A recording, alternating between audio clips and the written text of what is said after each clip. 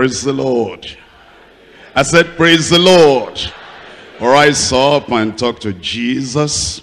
We're talking about consecration. By and by, when you see the face of the Lord, you'll wish you had given him more. Now you tell the Lord, Lord, I want to give you all my life, everything I've got.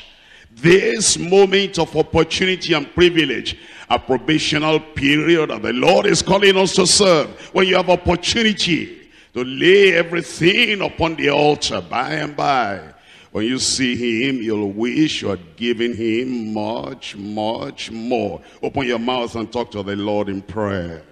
Pray that the Lord will help you to catch the vision, the heavenly vision, and your commitment and consecration will be to that heavenly vision. And your consecration will match the vision revealed by the Lord. So that you'll not have any regrets when by and by you see him directly. And the Lord begins to show you what you could have done, where you could have gone, what you would have been, how far you would have reached. That the divine hand will touch you and turn you around and make you to abandon the things of this world. You turn to Jesus and then you bow, bend before him. Surrender, give. Abandon yourself completely to the Lord. On that final day when the things of the world will mean nothing. You transport yourself to that final day when you see him face to face, then you give, you abandon, you surrender everything you've got to the service of the Lord. In Jesus' name we pray. And the people of God said, Amen. Father, we thank you at this time, at this hour. Thank you, Lord, for the great subject you bring before us. And thank you because we have a cloud of witnesses that have gone before us and they appreciated what you did for them. They exalted you and they belittled, minimized themselves so that you can be magnified in their lives. And they surrendered, they gave up everything for your glory and for your service. Lord, we pray at this our own time will give everything without reservation in Jesus name. And Lord will not look at any example around us that may not encourage us to give all. But you look at the examples of set for us in the holy writ in the scriptures. And therefore Lord we too like them will surrender everything to your service in Jesus' name. I will pray that on that final day, when we see Jesus Christ our Lord and Savior, the perfect sacrifice, a great substitute, I will see you face to face, will not regret that what we could have done, we didn't do. We'll do everything you've called us to do today. And we'll so abandon ourselves to the service of the Lord that you and your service will be number one in our lives. Teach us once again at this time and paint in our hearts that trust, that vision, heavenly vision, so that Lord will take the baton in our own time, will run with it. Thank you, Lord, because we know you have answered. In Jesus' name we pray. We can sit down now. We're coming back to your Acts of the Apostles, chapter 26. Acts of the Apostles, chapter 26. We're looking at verse 19 and verse 20. Whereupon, O King Agrippa, I was not disobedient to the heavenly vision. Why don't you stop there for a moment? It didn't say we were not disobedient. A time comes when you have to single yourself out. I need to forget about Paul and Barnabas, we. And Paul and John Mark, we. And John and Paul and Demas, we. And Paul and Silas or Silvanus, we. And Paul and Timotheus, we. A time comes when you need to forget the partners.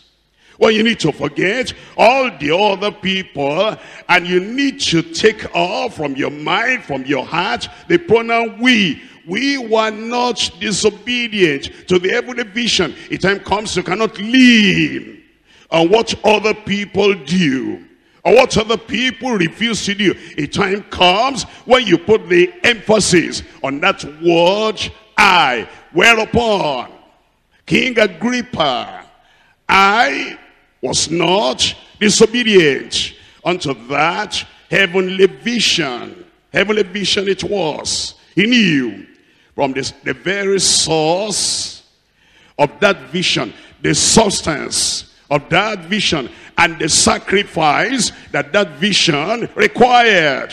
And therefore he said, Agrippa, I knew what I was getting into. I knew the source. I knew the substance. And I knew the sacrifice it will take for me to be able to carry out that heavenly vision. We're talking about consecration. By the way, what is consecration? It's what you see in the life of a faithful son. It is what you see in the life of a faithful spouse, husband or wife. It's what you see in the life of a faithful soldier. And it is what is demonstrated before you in the life of a faithful servant. It is what we read about in the life of a faithful subject, a citizen. And it is what we see in the life of a faithful shepherd and what you see in the life of a faithful sheep. Number one, the son. Number two, the spouse.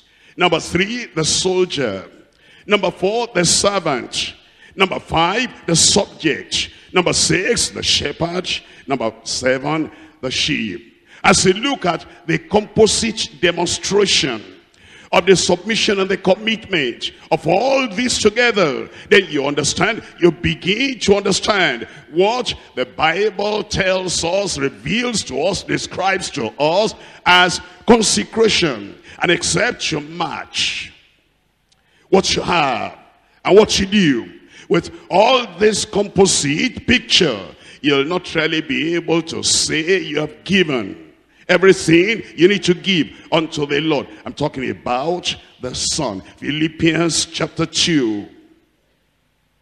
Verse 19, but I trust in the Lord Jesus to send Timotheus shortly unto you, that I also may be of good comfort when I know your state. For I have no man like-minded who will naturally care for your state. That's the example of consecration as a son. Because it says in the next in the next verse, for all seek their own. Not the things which are Christ, are Jesus Christ, but she know the proof of him. That as a son, a faithful son, a committed son, a, concrete, a consecrated son, a submissive son, as a son. With the Father, he has served with me in the gospel. No selfishness, no place seeking, no personal, selfish, private ambition. And it came naturally. He said, because it does it naturally, it becomes a second nature. And when that commitment to the Lord, that consecration to the Lord becomes a second nature. And it is not that you're struggling and you're battling with it. Yes, I will. Yes, I will. And then it's like you're arguing against it in your mind. But apparently, publicly, and physically, and visibly, you're still doing something you're expected to do. But it's not coming, it's not flowing from the heart naturally. That's not consecration. But consecration is a life the service, the gift that a faithful son brings to the father. And he says, you brought me to this life. I wouldn't have been except you were there as daddy and mommy. I surrender everything, everything at your feet. Number two, like a spouse. Spouse means either husband or wife. Both husband and wife. The submission we have towards each other. Ephesians chapter 5. In Ephesians chapter 5, I'm reading from verse 21 and verse 22, submitting yourselves one to another in the fear of the Lord. And this is out of love. This is not coercion. This is not by force. This is just because you are in love together. And this affection between husband and wife makes you to submit one to another. And when you are together and when you are not together, when you are absent from one another, wives, submit yourselves unto your own husbands as unto the Lord. That's consecration. That's an example, an illustration, a picture, a pattern of consecration. And now number three, that of a soldier. You've seen soldiers before. You've seen when he drafts them into, into the army and they join the troops. And even though, like for example now the uh, international kind of news that tells us the most unpopular war that has ever been fought. The Americans themselves say that every time in their news and uh, their beloved president has you know lost some points in their poll just because of the war that they're fighting but all the same all the same that even though the nation at large may not be in total agreement with the decision of their congress and of their president that this war should be fought these soldiers are been drafted there. And then when they come back, either they come back injured or they come back one way or the other, they celebrate. And when, when some of them even die in that war, even though they did not have all the support they should have given unto that thing that they did, all the same, you will see the submission of the soldier.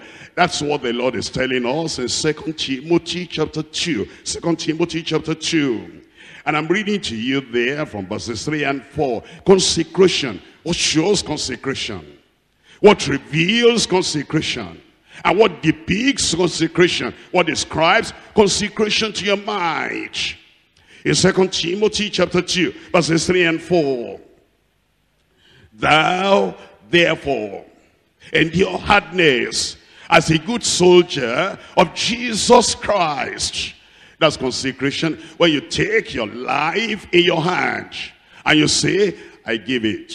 I surrender it. I submit it for the cause of the gospel and for the salvation of the world. That's consecration. When you count not your very life dear unto you and that's what the Lord is telling us is saying, as a good soldier, faithful soldier, loyal soldier, dependable soldier of the Lord, you submit yourself without counting the cost. And then the consecration of a servant when Exodus chapter 21. Exodus chapter 21. I'm reading from verse 1. Now these are the judgments which thou shalt set before them if thou buy an Hebrew servant, a servant, this is consecration. It says, six years shall he serve.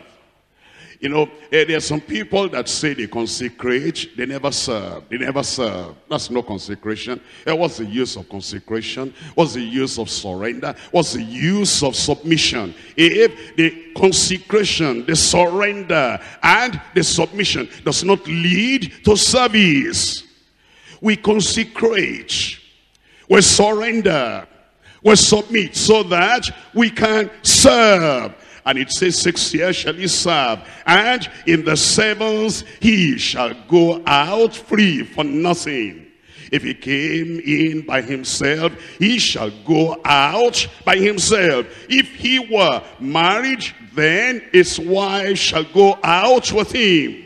If his master has given him a wife, And she have been, and she has born sons and daughters. The wife and her children shall be her masters. And he shall go out by himself. And if the servant shall plainly say, plainly say, not in confused words, not in a word that has possible interpretations either this way or that way so that when the fire begins to burn and when the demand comes upon your life you'll say I didn't mean that. How did you interpret what I said? This is what I said. Because your language has the possibility of double interpretation. But a person that consecrates a person that wills his life, his mind, and everything he has unto the Lord. He comes with a plain language that has just one interpretation. If the servant shall plainly say, I love my master, my wife, and my children. I will not go out free. Then his master shall bring him unto the judges. He shall also bring him to the door out unto the doorpost and his master shall bore his ear through with an awl and he shall serve him how long? Forever. Consecration is not something you, you bring to the altar now and then. When you meet some challenges in that service then you say i don't think i wanted to go that far. And then you remove what you've got from the altar. He shall serve him forever and we're talking also about the subject. That is the citizen, the subject. We're looking at First Peter chapter 2.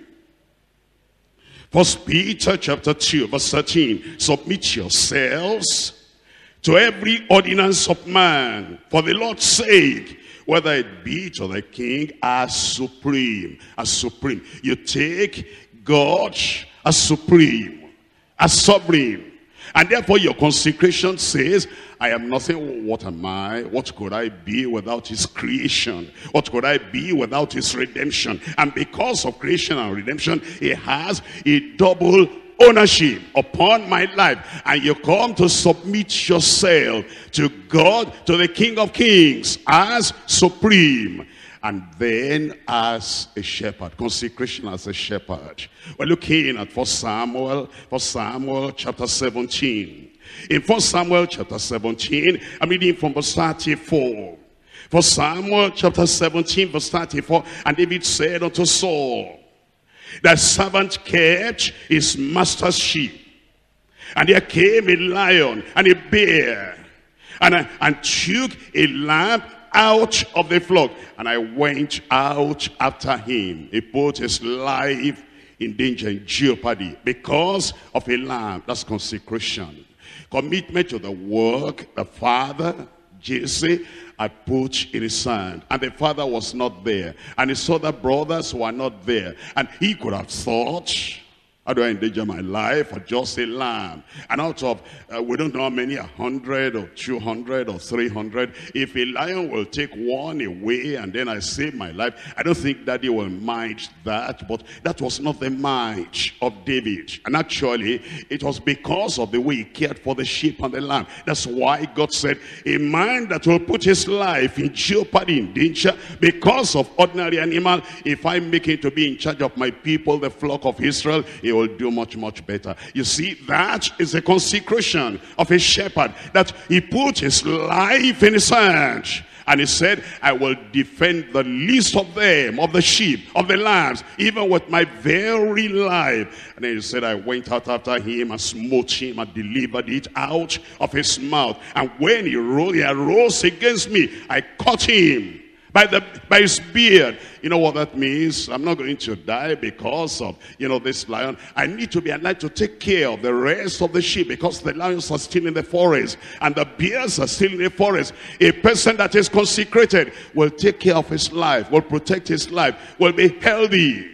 You keep yourself healthy for preservation to keep on serving the people of God. It's not a person that says, I'm consecrated, I'm yielded, I'm surrendered to the Lord, and I don't care if I'm sick, I don't care if I am weak. After all, I've given that life to the Lord. You keep that life strong and healthy and vibrant for the service of the Lord. And you want to kind of oppose anything or destroy anything that will affect your health because you're fully consecrated and the consecration is to serve. And now the consecration of the sheep, of the sheep. I'm looking at Isaiah chapter 53 verse 7.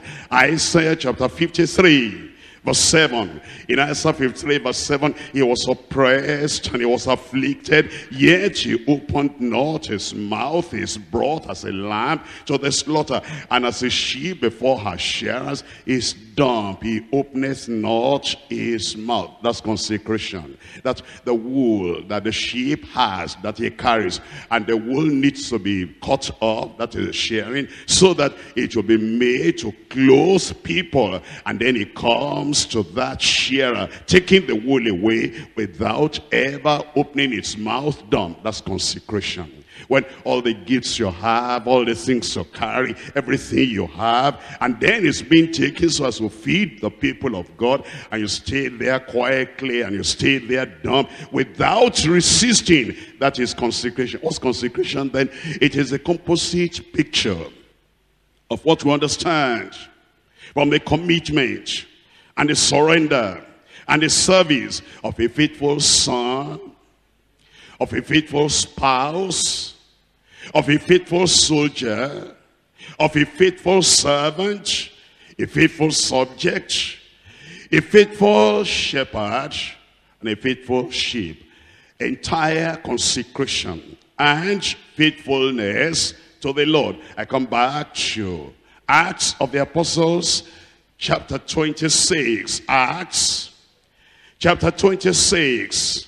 I'm reading from verse 19 again, whereupon, O King Agrippa, I was not disobedient to the heavenly vision, but showed first unto them of Damascus and at Jerusalem and throughout all the course of Judea and then to the Gentiles that they shall repent and turn to God and do works meet, suitable, fit for repentance. I divide the message to three parts. Number one, an uncommon consecration to the heavenly vision. An uncommon consecration to the heavenly vision. Number two, an unceasing commitment just going on and on and on unceasing commitment to the heavenly vision number three an unchangeable command in the heavenly vision an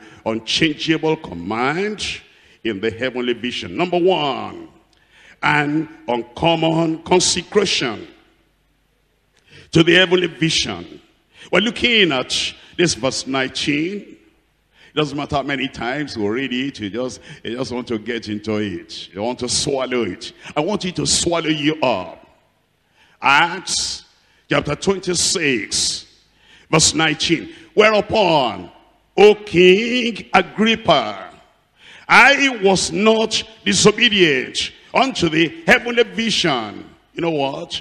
King Agrippa was an unbeliever. Yes, a Jew, but an unbeliever.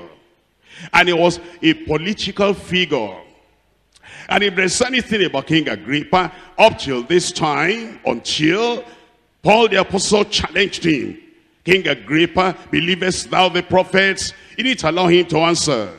He wanted to drive him into a conviction. I know that believest. Up to this time, this man was an unbeliever. And will still remain an unbeliever even after the whole discussion. And yet, Paul the apostle was not ashamed to say before an unbeliever who probably he knew will not agree with his stand, with his submission, with his consecration. And he said, Oh, King Agrippa, by the way, I'm telling you this, Paul must have been thinking, not so that you can support me, and not so that you can rally around me, and not so that you can praise me. Some people cannot take his stand except somebody will congratulate them and praise them. Paul the apostle said, Oh King Agrippa, whatever people think about it, that's none of my business. But I was not disobedient unto the heavenly vision. He had an uncommon consecration. And you look at this in Galatians chapter 1. Galatians chapter 1, I'm reading from verse 15.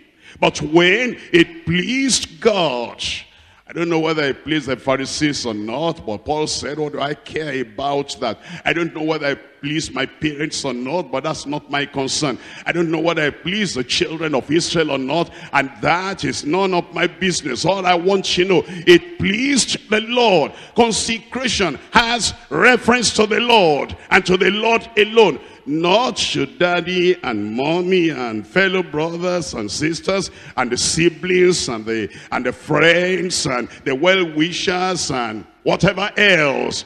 But consecration has reference to the Lord alone. He said when it pleased God who separated me from my mother's womb and called me by his grace to reveal his son in me that I might preach him. That consecration had an end, a goal, and it had a purpose. He said that I might preach him among the heathen immediately. Everybody give me that word again. Again. Say that again. That's the beauty, that's the beauty of consecration.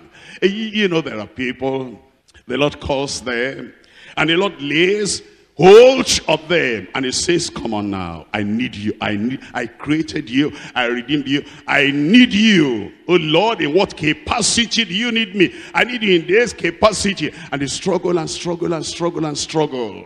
And then after they have given the best of their brain, the best of their mind, the best of their skill, and the best of their ability. They have given it to the world. And then the world sees that there is a kind of declining of their strength, of their power, of their ability and their skill. That's why they retire them. Now, after they are retired, they come back to God and say, God, you still need me? I'm available now. What do you mean?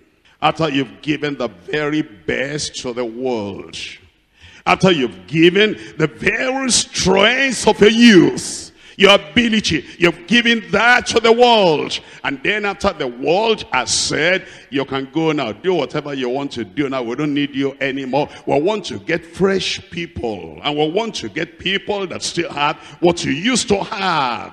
Because now your body is getting weaker and you're sleeping more than usual.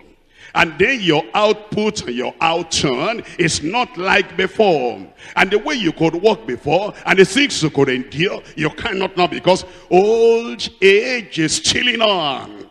And because they said, now you can go. Now you come back to God. Your consecration is not immediate. God might accept you because God is a wonderful God. He might make use of you, but that consecration will have less value than what it would have urged if you had immediately given yourself when the Lord was calling you to reveal his son in me that I might preach him among the heathen immediately I comfort not with flesh and blood looking at for Samuel for Samuel chapter 15 for Samuel chapter 15. And I'm reading from verse 19 for Samuel chapter 15. Reading from verse 19. It tells us in that passage, Wherefore then didst thou not obey the voice of the Lord, but didst fly upon the spoil, and didst evil in the sight of the Lord, and Saul said unto Samuel, Yea, I have obeyed the voice of the Lord, and have gone the way which the Lord sent me. and have brought Agag, the king of Amalek, and have utterly destroyed the Amalekites. But the people took of the spoil, and sheep and oxen, the chief of the things which should have been utterly destroyed to sacrifice unto the Lord thy God in Gilgal. And Samuel said, as the Lord has great delight in burnt offerings and sacrifices, as in obeying the voice of the Lord, behold, tell me the rest, to obey is better than sacrifice, and to hearken and the fat of rams. You know, as you look at Paul the apostle and you look at the consecration, the commitment, the submission, the surrender. Here is what we learn. Number one, it was a purposeful consecration. A purposeful consecration. Because it was for a goal. It was for a, it was for a purpose. To preach the only begotten Son of God and to preach his gospel. A, a purposeful consecration. Number two, it was a prescribed consecration. Something that God prescribed. He said, Paul, this is why I need you. No other reason to preach, to preach, to preach his son. A prescribed consecration. Number three, a propelling consecration. Propelling consecration. It's not a kind of consecration you have. And then you are just sitting down. Static passive not able to do anything. It's a consecration that propels you, that drives you, that moves you to get something done. It's like something is boiling within you. Something is stirring up within you. Something is like an engine and it is rolling you. It's making you to go on the move. A propelling consecration. Don't you see Paul the apostle? I said, I, I did it in Damascus and then in Judea and then I did it in Jerusalem. I did it among all the nations of the various heathen people, it propelled me to action.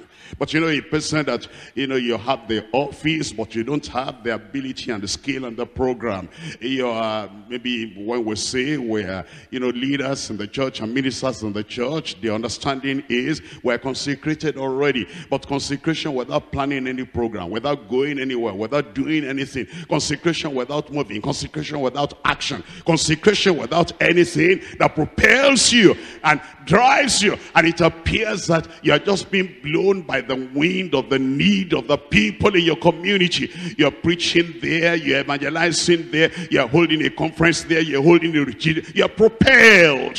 A propelling consecration. Number four, it was a productive consecration. Uh, what don't you look at the ministry of Paul the apostle? It wasn't a useless consecration that did nothing, that accomplished nothing. It was a consecration that produced results. And it is that that makes us to know that the consecration is approved of the Lord. A productive consecration. Number five, a pastoral consecration. It's a kind of consecration that a pastor ought to have a pastoral consecration that gives your whole life and everything you've got until you preach, you counsel, you teach, you lead, you comfort, and you unite families, and you do everything until you're almost dropping down dead. That is a pastoral consecration. Number six, a progressive consecration. What I mean by that and what the scripture reveals from that is that the consecration of Paul the apostle after five years of knowing the Lord was much, much greater than the consecration of the first year. And the consecration of the tenth year in service was more than the consecration of the first year. It was not, you know, reaching a plateau that, you know, I've arrived. I've served the Lord.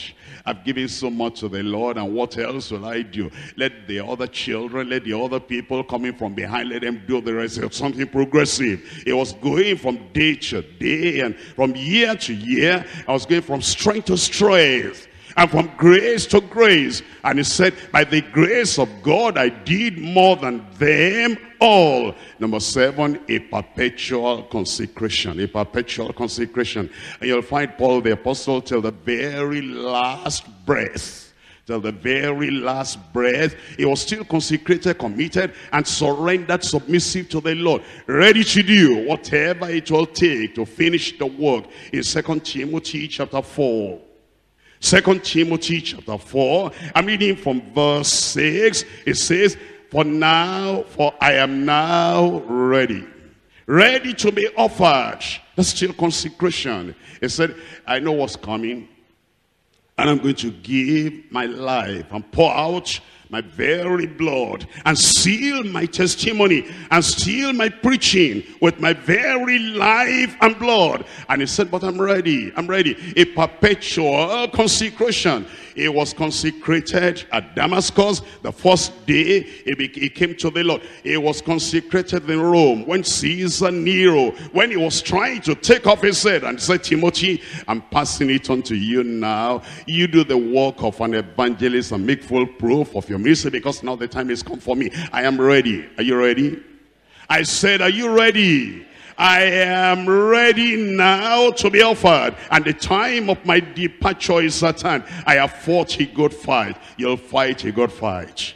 I have finished my course. You'll finish it well. I have kept the faith henceforth. There is laid up for me a crown of righteousness, which the Lord, the righteous judge, shall give me at that day, and not to me only, but unto all them also that love is appearing. That's consecration. It's uncommon, but that's what the Lord requires from you and from me. I go to point number two. And unceasing commitment to the heavenly vision. We'll come back to Acts of the Apostles chapter 26 and verse 19. Acts chapter 26, we're looking at verse 19.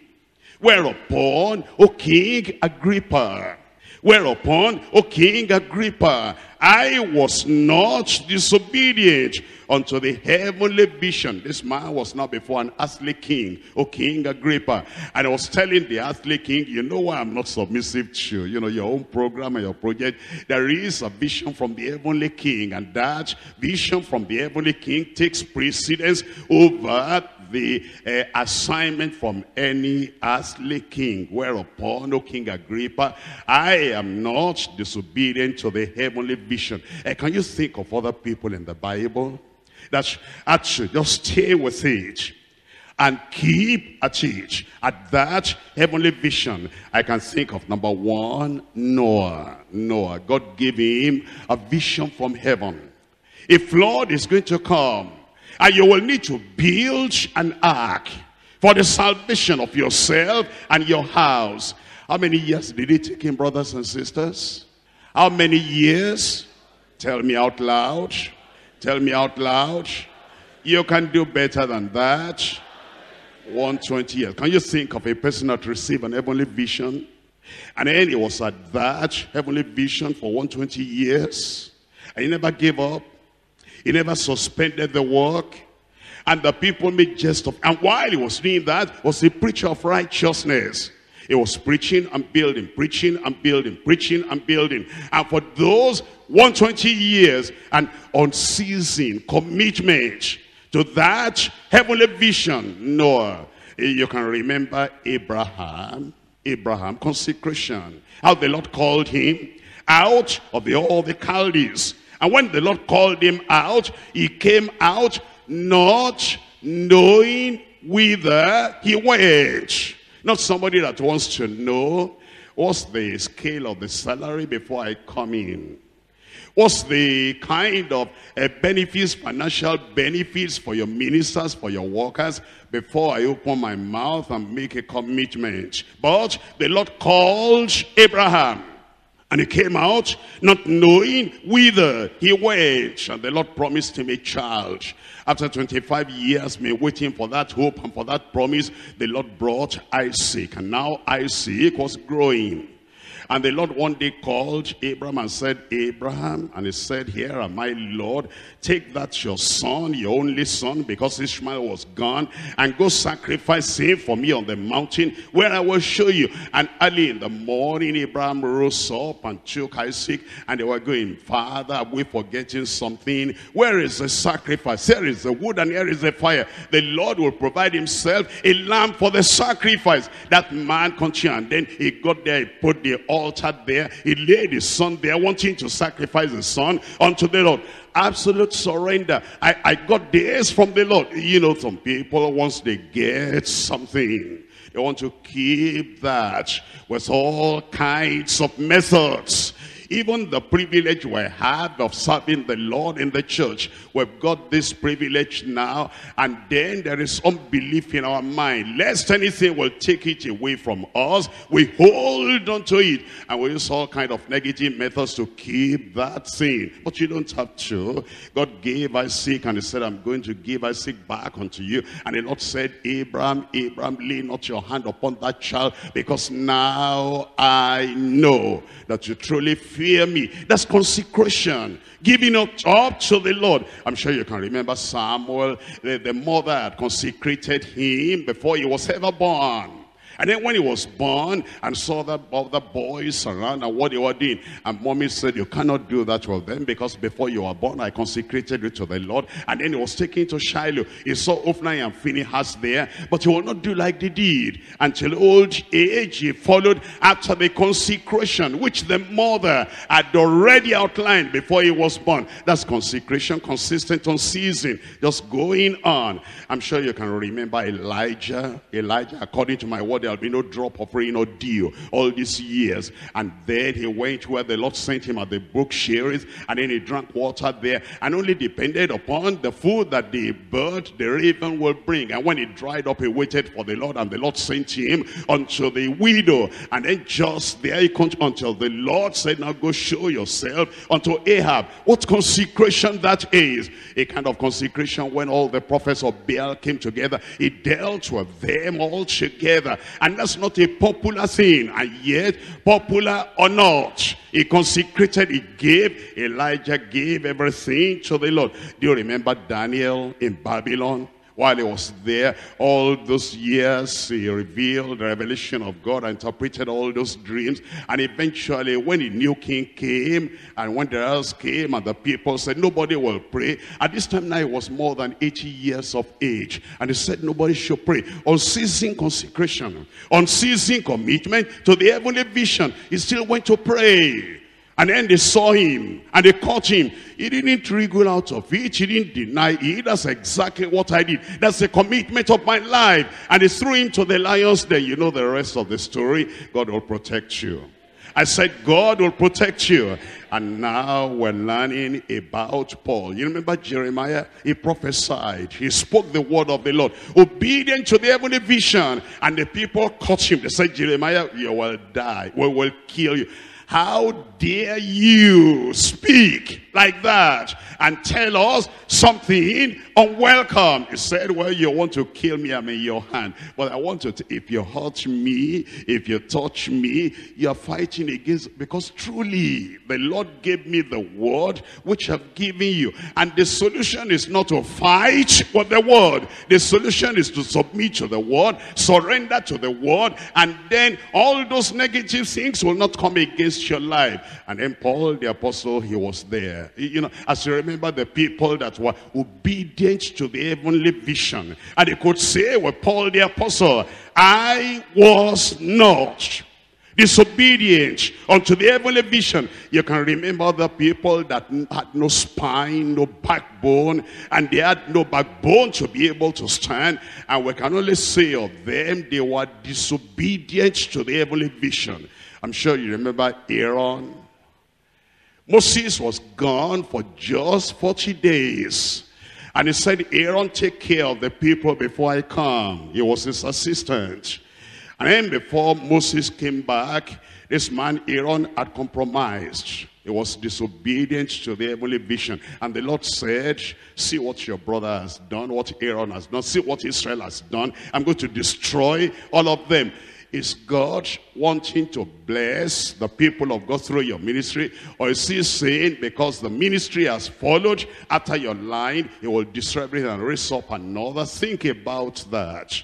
Aaron disobedient to the heavenly vision. You remember Nadab and Abihu. The heavenly vision was there, how to sacrifice and what to do. And because of a selfish interest, because of something, a passion within them, because they had a point to prove, they were disobedient to the heavenly vision. You know their story. You remember Saul, disobedient to the heavenly vision. The Lord spoke from heaven and he said, it wasn't a new thing. Didn't Moses talk about that? And didn't Moses talk about the fight of God against the Amalekites from generation to generation? It's an heavenly vision that the Amalekites will be destroyed. And then now Saul, you are the king. You remember the heavenly vision against the Amalekites. Go and destroy them. And that man was disobedient to the heavenly vision. Do you remember Samson? You remember his birth. You remember an angel came from heaven. You remember an angel spoke about the heavenly vision to the mother. And Samson was born. What a pity. Samson could not hold on to that heavenly vision. He was disobedient to the heavenly vision. You remember Solomon? Our God appeared to him two times in a dream. And eventually asked him, what do you want? And that man, when he was young, when his heart was tender, and when the life of his father still made a deep impression on him, he, he answered the Lord from heaven. He said, this is all I need, wisdom to be able to guide your people and to be able to do the work of God creditably well. And the Lord said he was pleased with his request and said, I've given you all the wisdom and all the riches and everything. And then said, if you will obey my voice like your father David obeyed my voice, I will lengthen your days. I'll prolong your life. And then you will be the one to build the house for my name. You remember Solomon, he was disobedient to the heavenly vision. You remember the young prophet, the Lord told him from heaven, go to the house of Israel and go and tell Jeroboam this and this. It was an heavenly vision. And then he started well, started well. Eventually an old prophet came and said, won't you come back home with me and drink water and eat bread? So I mean not because there's an heavenly vision that propels me, that controls me, that girds me, that guides me. Because of that heavenly vision, I cannot, I will not. Oh, the man said, there's a contrary vision that also came, but a light unto him. And then he went back, what a pity. He was disobedient unto the heavenly vision. Do you remember Demas? Demas has forsaken me. Having loved this present world, he was disobedient to the heavenly vision. Can we talk about Barnabas? How the Holy Ghost said, Separate unto me Barnabas and Saul for the work whereunto I have appointed them. And Barnabas, what a pity. Why should you allow John Mark, anybody, to come between you and the heavenly vision. The Lord did not mention John Mark when the heavenly vision was painted in their hearts. And when the Holy Ghost spoke, separate unto Barnabas and Saul. John Mark was your own personal decision that you brought in. And that young man saw that he was not ready. And in the middle of the journey of the road, he went back. And when they were going to supervise again the work they had started, then Barnabas said, we're still going to bring on John Mark. That's going to be a heavy load. That's going to drag us back. We're going to be caring for somebody and nursing somebody that is not ready. Drop him. And Barnabas said, no, just because of John Mark, because of that, Barnabas was disobedient unto the heavenly vision. But Paul said, I'll carry on, I'll carry on. If I have support, I'm happy. If I don't have any support, I'm happy all the same. I'm going to carry on. And he carried on until this time. And he went into his imprisonment all alone now by this time. And I was talking to King Agrippa. He said, King Agrippa, I was not disobedient unto the heavenly vision and unceasing commitment to that heavenly vision. I pray the Lord will do it for you. and the Lord will do it for me. And all of us will carry on one by one, individually, in a unique way until the very end, in Jesus' name. Now, what made this man go? What kept him going? What made him to be able to do everything he did and to say what he said and to be able to serve the way he served without looking back. I'll show you in Acts of the Apostles chapter 20. Acts chapter 20. I'm reading from verse 24, but none of these things move me. That's what, that's what keeps you on. Friends come, thank, thank God for the friends, but none of them move me. And the enemies rise, well, maybe God has something to teach me in allowing these enemies to come, but none of these things move me. And circumstances change. He said, that's all right, but none of these things move me. I'm hearing prophecy from Agabus and everybody that bounds and affliction await me in Jerusalem, but none of these things move me, whether on the mountaintop or in the valley, whether it's in the day of gladness, of the night, of sadness. None of these things move me. That's a man that will keep going. That's a man that will say, well, thank God for those who come in and thank God for those who go out. Made a serious thing for that. But none of these things move me. Neither count I my life dear unto myself, so that I might finish my course with joy, and the ministry which I have received of the Lord Jesus to testify. You will testify. I said you will testify, to testify of the gospel, the gospel of the grace of God. And that's what keeps us going. When you can, you look at everything around you and you say, you allow the Lord to ask you, what if these go? What if these disappoint? What if these abandon you? What if the world persecutes you? What if friends become foes? What if some negative happenings come up in your life? And then when you are able to say, none of these things move me. That's how you can have unceasing, unstoppable commitment to the heavenly vision. I pray the Lord will give it to us. Romans chapter 8. In Romans chapter 8, verse 35. Who shall separate us from the love of Christ shall tribulation or distress or persecution or famine or nakedness or peril or sword. It says, who and what will separate us? We've laid our hands on the plow and we're not going to look back. I said we're not going to look back. And whatever it is, he said, what shall separate me? Who shall separate me from the love of Christ? As it is written in verse 36, for thy sake we're killed all the day long. We're counted as sheep for the slaughter. Nay, in all these things, while the storm is raging, in all these things, while the wind is blowing, in all these things, while the enemies are kind of plotting and planning to do something evil, in all these things, while the gainsayers and opposers are increasing in number, it says, in all these things, we are more than conquerors through him that loved us. For I am persuaded. Can we say that together? I am persuaded. Can you say that again? Say to the Lord. For I am persuaded that neither death, nor life, nor angels, nor principalities, nor powers, nor things present, nor things to come, nor height, nor depth, nor any other creature shall be able to separate us from the love of God, which is in Christ Jesus our Lord. You see what the Lord is saying there through Paul the apostle. That's why he kept steady.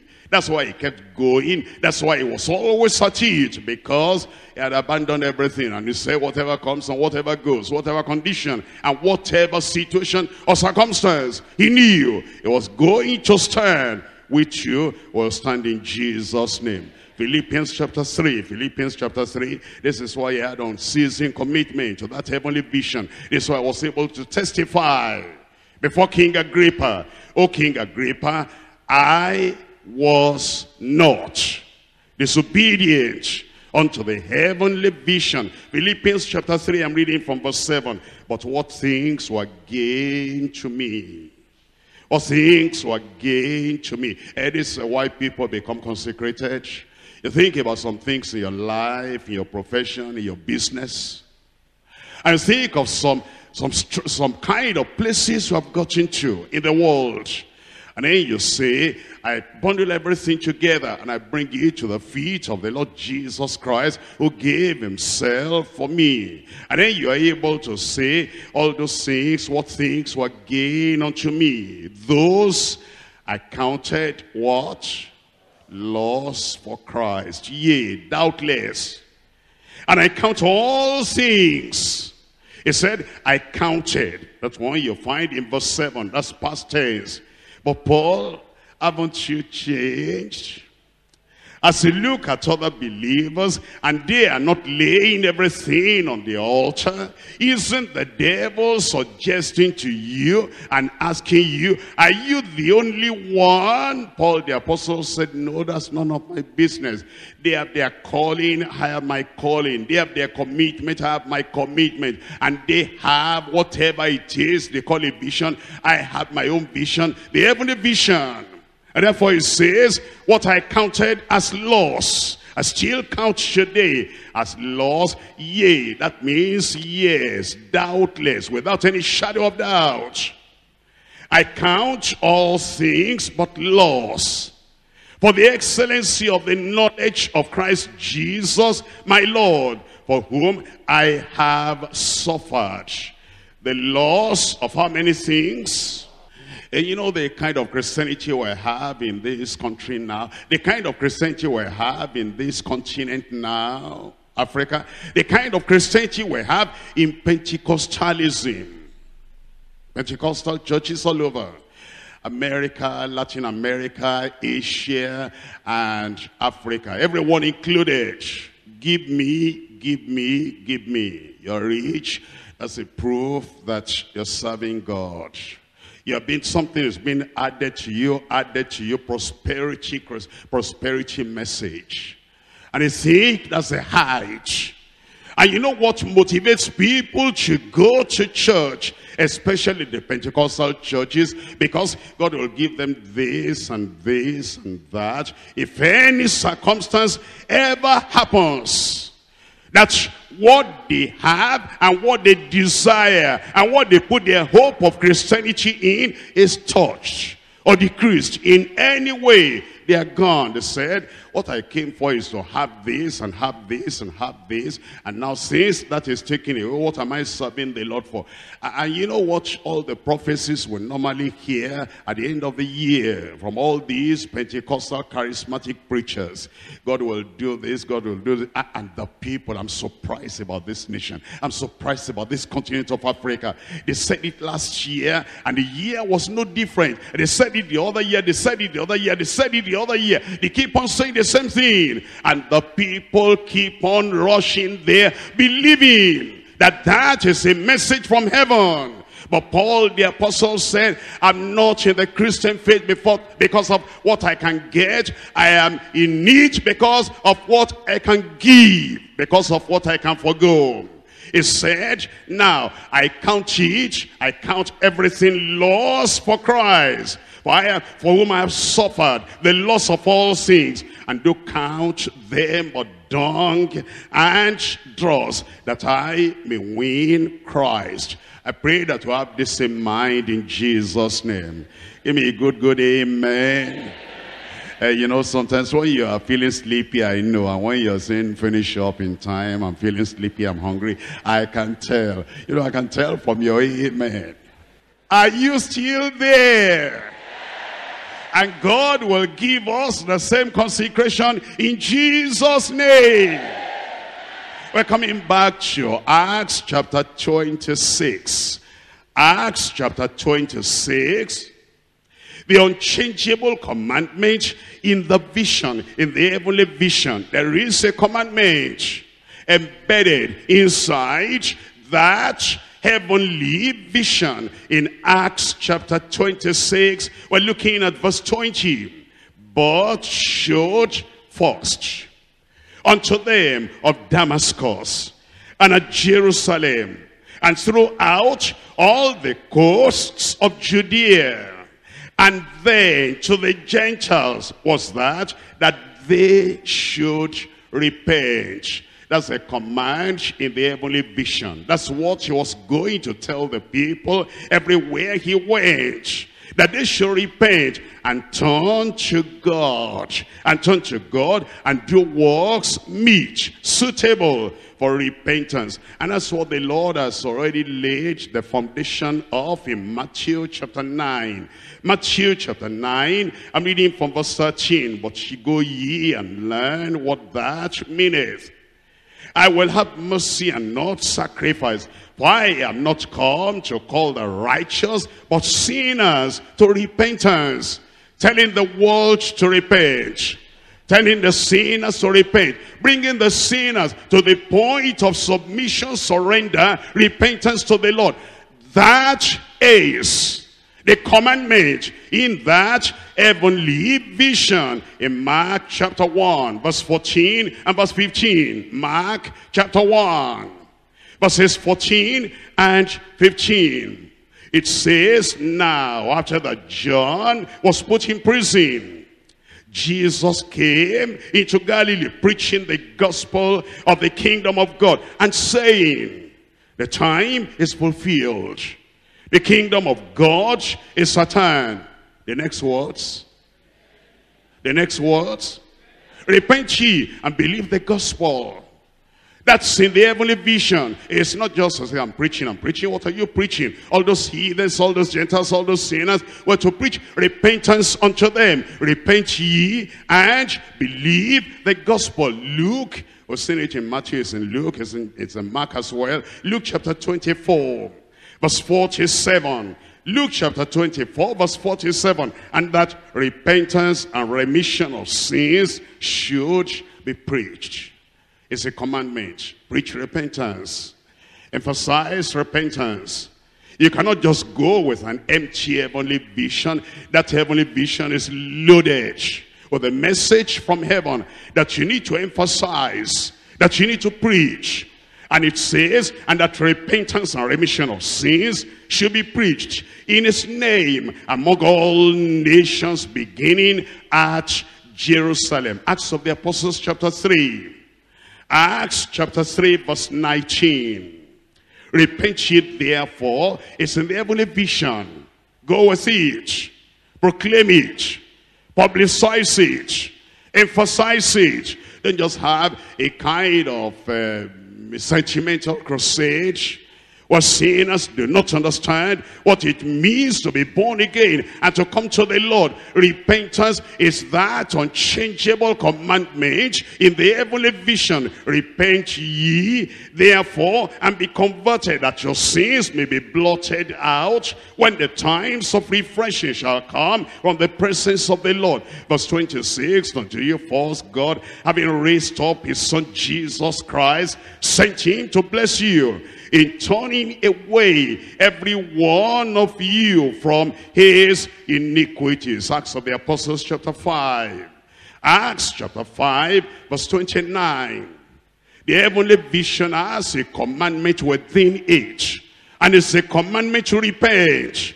Acts chapter 5 verse 29. Then Peter and the other apostles answered and said, We ought to obey God rather than men. The God of our fathers raised up Jesus, whom ye slew, and hanged on a tree. He must God exalted with his right hand to be a prince and a savior for to give, to give what? Repentance to Israel and forgiveness of sins. Acts chapter 17. Acts chapter 17, verse 30. And the times of this ignorance, God winked at. But now commandeth all men in how many places? Everywhere to repent. And that's in view of the judgment day coming because he has appointed a day in the which he will judge the world in righteousness by that man whom he has ordained whereof he has given assurance unto all men in that he has raised him from the dead. Then we look at chapter 20, verse 20 and verse 21. Acts chapter 20, verse 20, verse 21. And how I kept back nothing that was profitable unto you, but I've showed you and I've taught you publicly and from house to house, testifying both to the Jews and also to the Greeks. What? Repentance toward God and faith toward our Lord Jesus Christ. Second Peter chapter 3 verse 9. Second Peter chapter 3. And we're reading there from verse 9. Second Peter 3 verse 9. The Lord is not slack concerning his promise, as some men count slackness, but his long suffering towards word, not willing that any should perish, but that all, say it out loud, but that all should come to repentance. And then as Jesus speaks from glory, and he speaks from heaven, to the uh, lukewarm church members, unconverted, Laodicean church members, is still emphasized that unchangeable commandment in the heavenly vision. Now he speaks from heaven. And in Revelation chapter 3, Revelation chapter 3, reading from verse 19, as many as I love, I rebuke and chasten. Be zealous therefore and do what? And repent. It's still the message. There's no change is the unchangeable commandment in the heavenly vision. Behold, I stand at the door and knock. If any man hear my voice and open the door, I will come in into him and will sup with him and he with me. And to him that overcometh, you will overcome.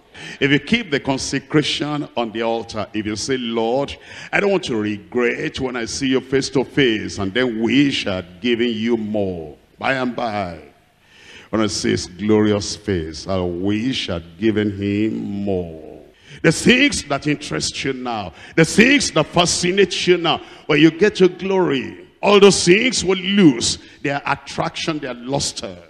All those things will lose their value. And then you'll wish you had given the Lord more. But this time now, this is a time of opportunity. That everything that comes at you, wants you to arrest your attention. I want you to grab you and grip you and hold you down. That you'll not submit, surrender everything to the Lord.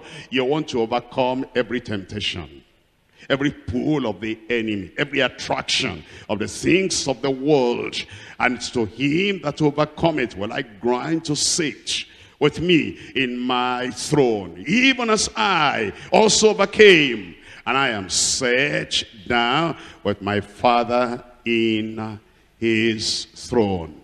The time will come when all work will be ended all sacrifice will be over. All consecration and commitment will come to an end. And then you'll be able to look back at that time and then you'll tell not just King Agrippa, you'll be facing the King of Kings and the Lord of Lords. And then you appear before him and without any shame and without any regret, you'll be able to humbly look at the face of the King of Kings and say, whereupon my king and my lord and my master.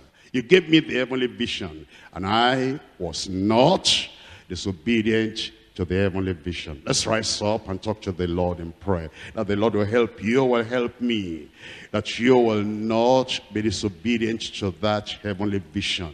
And you want to make sure that what you are spending your energy on, what you are committing your very life to, is that heavenly vision. You're not giving any excuse.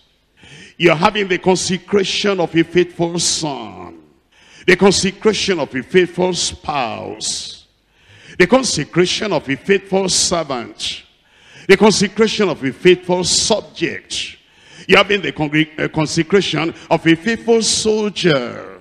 The consecration of a faithful shepherd. The consecration and submission of a faithful sheep. And you are laying everything at the altar without murmuring, complaining, or grumbling. And without using the methods of the world to fight back on the demand of the Lord in your life. You're saying, Lord, I have heard the message. I know you are speaking to me. I come with entire consecration and absolute surrender and faithfulness to my Lord and to the heavenly vision right now. Come now and come and surrender, submit everything before the Lord and say, Lord, here I am, here I am, here I am. I submit, I consecrate, I give everything now in your hand. Why don't you come to the Lord? Don't keep back any talent don't keep back any skill. Don't keep back the strength of your youth. Don't keep back the skill, the training, the experience of your life. Now that you are strong, now that you have something to offer, that's the time to come and joyfully, cheerfully, like a real, loving, loyal, dependable son